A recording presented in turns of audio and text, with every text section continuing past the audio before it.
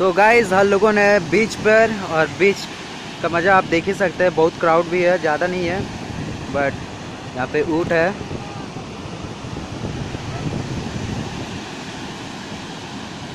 Guys अगर आप frustrate हो चुके हैं, काम के टेंशन से, काम से वीकेंड मनाना चाहते हैं, गोवा, पूरी, दीघा, ये सब ज़रूर घूमेगा।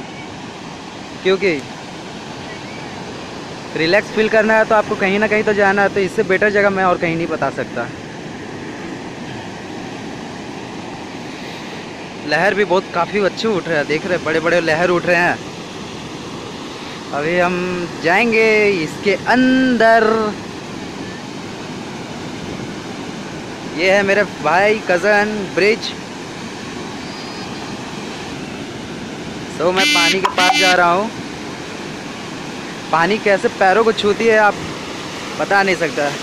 वाह सो अमेजिंग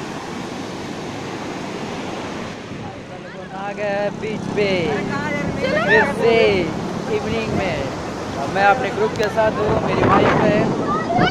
और मैं बीच पे आ चुका हूँ, और ये लहर के पीछे, ये मुझे लहर ने अकेला और मैं तो मैं काफ़ी इंजॉय कर रहा हूँ इस जगह को।